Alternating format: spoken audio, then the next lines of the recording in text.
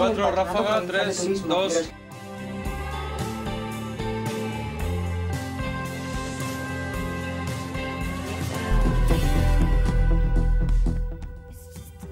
Hola, buenas tardes y bienvenidos al primer informativo que el canal por cable Televisión Ponferrada emite a sus abonados. Saludos, ¿qué tal, señor? Hola, buenas noches. Estamos en directo con todos ustedes. De nuevo, un apasionante encuentro.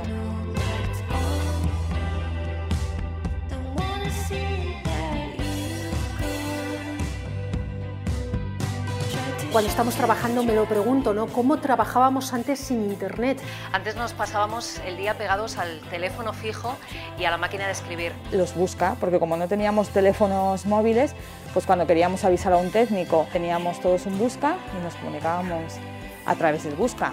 Como de viajar a la luna a volver a Tapuerca, a los inicios casi eh, de la televisión. De los hospitales, lugares más seguros. Y mientras el Partido Socialista... Pues así hacíamos televisión hace 25 años, con un magneto, un monitor, un teclado y empezábamos a hacer televisión. Y ahora televisión hacemos pues con un móvil. Ahí veis a mi compañera Olga grabándonos.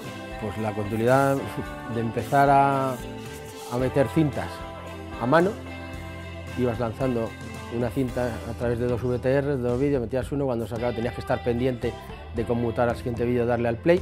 El famoso formato de cintas era los madrugones que teníamos que darnos, levantarnos a las 4 o 5 de la mañana, porque el primer autobús que salía para Valladolid, pues salía sobre las 6 de la mañana, para que llegara a tiempo y forma esa cinta que ya habíamos editado a Valladolid, a Valladolid para que se pudiera emitir, o sea, fue una odisea terrible. Vamos a acercar de una exposición absolutamente histórica. Y en Nueva Segovia... Los... Bueno, los directos era... eso era un mundo la toallera, o sea, la antena, tenías que ubicarla hacia el satélite correspondiente, bueno, eh, tenías como una franja de horarios y era bastante complicado. Hacer el tema en directo. No puede casi ni felicitarles porque tiene la boca, la boca, mira, los compañeros la están enfocando maliciosamente. Vamos a brindar, alcalde, si nos echan champán. ¿Por qué va así que tiene champán? A ver el champán, compañero. Hubo tres o cuatro años que dimos las campanadas en directo desde la Plaza Mayor y implicábamos autoridades. Lo que pasa es que casi todos los años hacía malo o nevaba esas temporadas, pero siempre se acercaba gente y tirábamos cohetes. Que lo más difícil es en los inicios, ¿no? Eh, montar una televisión local con aquellas limitaciones y, y haberla mantenido en el tiempo. Cuando íbamos a grabar un partido de fútbol y había que grabarlo entero y luego se emitía, pues era complicado, porque claro, los partidos de fútbol duran 45 minutos cada parte y las cintas son de 30 minutos de duración, las que teníamos en las cámaras entonces. Con lo cual no entraba toda la primera parte o cada parte en la cinta.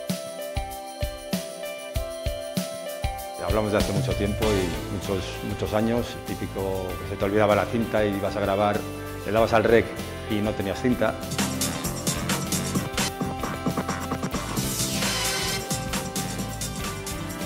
Muy buenas noches, ¿qué tal están? Una vez más, pues estamos aquí con todos ustedes, miércoles 23 de enero y una vez más, pues aquí me encuentro con mi compañero Jesús, ¿qué tal? Anda, que estarás mal conmigo. Oye, pues estoy muy bien a estas horas. Pues sí, eh, anécdotas, lógicamente, después de 26 años, que es lo que llevo yo aquí en eh, la 8 Bierzo, lo que fue en su día, y en origen en Televisión Ponferrada, son muchas y se acumulan. La jornada de ayer estábamos buscando en el archivo unas imágenes para, para, un reportaje, unas imágenes antiguas que nos echemos auténticamente muchas risas. Sí que es verdad que llevamos algunos muchos años y hemos visto muchas cosas, pero ha sido un cambio muy, ya te digo, exponencial, no ha sido gradual, a mí se me ha hecho muy, muy brusco.